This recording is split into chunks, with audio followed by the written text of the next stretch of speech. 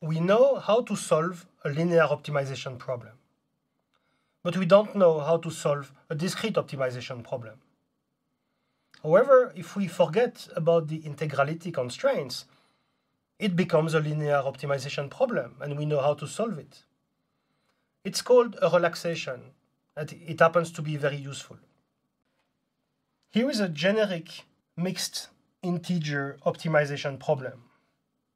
We have three sets of variables, x which has real values, y which are integers, and z that are binary.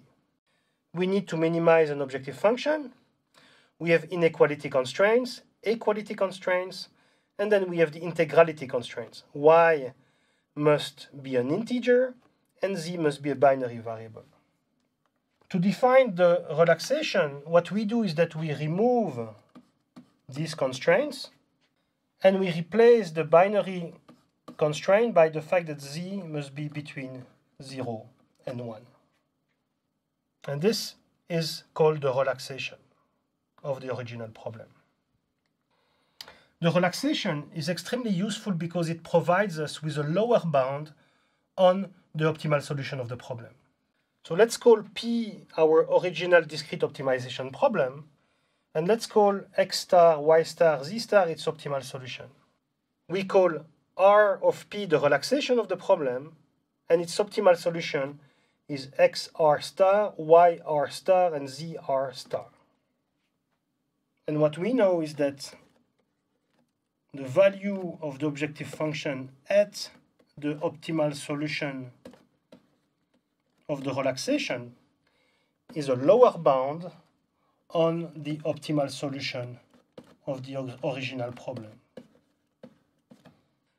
And the reason is that x star, y star, z star verifies all the constraints of the relaxed problem because the relaxed problem has less constraint than the original one. Therefore, it's a feasible solution for the relaxed problem. And because this is the optimal solution of the relaxed problem, it must be less or equal.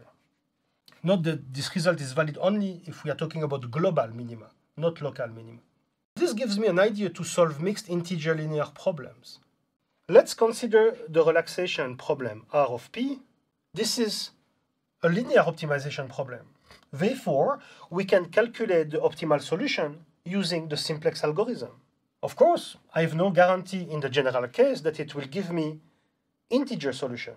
But that's okay, I can round the solutions that I have obtained to the nearest integer values. Well, actually, it's not a very good idea. And let's try to understand why on a simple example. So consider this example that we have used before, where the feasible set is the intersection of the polyhedron here and the lattice of all possible integer values. So in order to apply my idea, what I will do, I will first forget the lattice and solve the relaxation. So here you can do it visually. So I have drawn the level lines of the objective function. The minus the gradient in, is in this direction. Therefore, the optimal solution is at this vertex of the polyhedron. So this is the optimal solution of the relaxation. And now my idea was to put back the lattice and round this solution to the nearest integer. Let's try to do this. Let's put back the lattice. We have two variables, x1 and x2. Each of them has a rational value. So there are two ways to round a, a real number into an integer. We can, we can round it down or we can round it up. So in total, we have four possibilities. And actually, these four possibilities are represented here by these four dots. So this one is obtained by rounding both variables down. This one is obtained by rounding both variables up. And these two are obtained by rounding one of the two variables up and the other one down. What we see in this example is that none of these possibilities actually verifies the constraints. They are all infeasible. So it doesn't work. I cannot round the solution because I would generate a solution which is infeasible. Moreover, we know, because we have performed a full enumeration of this problem, we, we know that the optimal solution is here actually. This is the optimal solution of the integer linear problem.